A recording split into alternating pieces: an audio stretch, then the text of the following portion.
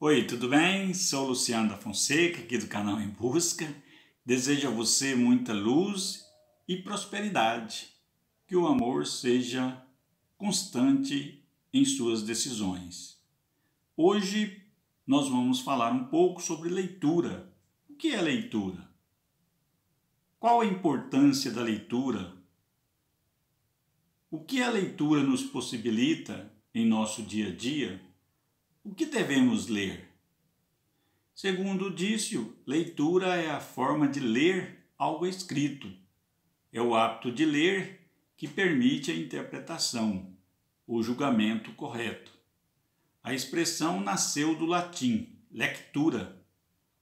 Na pedagogia, a leitura é a forma de como se decifrar um conjugado de subsídios teóricos e metodológicos presente em livros, texto, notícia ou em qualquer comentário que você encontra nas redes, sempre tendo um determinado acontecimento e destinatário, porém com fatos, ruídos dentro de uma lógica da sua interpretação pessoal. É possível ler, sim, como Paulo fala, Paulo diz que é preciso ler de tudo em suas cartas. Então, para você ter uma fé expectante, você precisa da leitura bíblica. No senso comum, ler é apenas a habilidade de interpretar os sinais gráficos convencionados de uma língua falada. Mesmo no senso comum, eu preciso ler para decodificar a imagem e para decodificar a palavra. É preciso ler, é preciso buscar. Mas não é apenas isso. A leitura ela é muito mais do que decodificar. Ler é compreender a mensagem que esses sinais, que essas imagens transmitem. O pedagogo brasileiro, Moacir Gadotti, descreve que Ler é ver o que está escrito, interpretar por meio da leitura, decifrar, compreender o que está escondido por um sinal exterior e interior, descobrir, tomar conhecimento do texto e da leitura. Todas essas definições finalmente implicam na existência de um leitor, de um código e de um autor. Por isso é interessante ler ler os clássicos, ler a história, ler o nosso caminhar. É importante ler. Escolha o seu livro e vá de encontro com a leitura. Vá de encontro com o mundo da leitura. Paulo Freire, sensacional escritor, pedagogo, criador do método, vai narrar como a leitura é definida por ele. A leitura do mundo precede a leitura das palavras. Um texto e um contexto, um mundo e um mundo. Assim, a definição do que é leitura, ele vai dizer: decifração da palavra fluía naturalmente da leitura do mundo particular. Assim, a leitura nascia no chão do quintal de minha casa, à sombra das mangueiras com palavras do meu mundo e não do mundo maior dos meus pais. O chão foi o meu quadro negro, os gravetos o meu giz. Por isso, para entender a sociedade brasileira, precisa de ler o Código Civil. Para entender a, as amarras, o sentido da criação, o sentido histórico, o sentido da vivência da sociedade brasileira. É preciso ler, ler com prazer, ler sem prazer. No mundo da leitura, te convida, o mundo da leitura te convida a ser justo, a ser uma pessoa que ama. Por isso, toda leitura gera um processo, seja técnico ou vital. Cada vez que lemos, podemos reagir à mensagem e relacioná-la com as nossas experiências. Desse modo, se pode concordar com a leitura ou discordar. Por isso, se pode dizer que, ao ler o texto, no sentido profundo e resultante, pode gerar uma tensão, um conflito, uma interpretação, uma análise entre o leitor e o texto. É a crítica.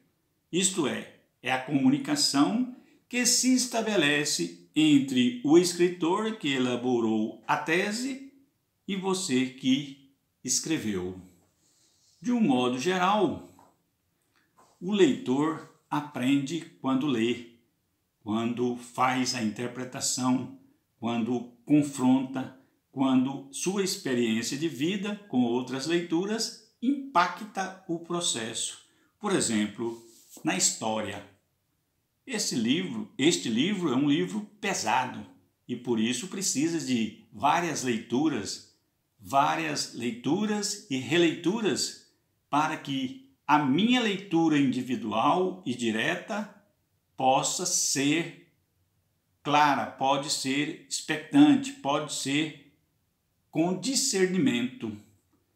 Por exemplo, a leitura silenciosa mobiliza toda a capacidade e emoção de uma pessoa e é tão satisfatória quanto a leitura gritada, a leitura cantada, a leitura selada na pura emoção.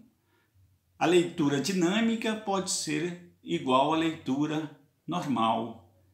A leitura que leva ao entendimento crítico e restaurador também pode ser tão criadora como o ato de escrever. Ler é transformar, ler é metamorfose, ler é caminhar dentro de um texto ou de uma imagem, dentro de suas configurações e transfigurações. No fundo, conforme a literatura, ler pode ser prazeroso ou não, mas pode ser também um hábito que manifesta na curiosidade do ser humano em marcha. Conforme os especialistas em leitura, em nosso cotidiano, o hábito de leitura é uma prática extremamente importante para desenvolver o raciocínio, o senso crítico e a capacidade de interpretar e analisar. Todavia, é um processo temporal dentro da história, minha, sua e nossa. Ler faz parte da formação cultural de cada indivíduo Ler faz parte de nosso viver. A leitura estimula a nossa imaginação, o nosso impulso, a nossa emoção, a nossa fantasia, a nossa concentração e principalmente nossa comunhão harmônica da vida. Ler, no entendimento atual, deve proporcionar a descoberta de diferentes hábitos e culturas por isso, é necessário ampliar a leitura. Ampliar a leitura é buscar novas fontes, como, por exemplo, a história oral, a história que te vincula à escuta. De um modo geral, ampliar o conhecimento, ampliar a cultura é saltar para outros tipos de conhecimento.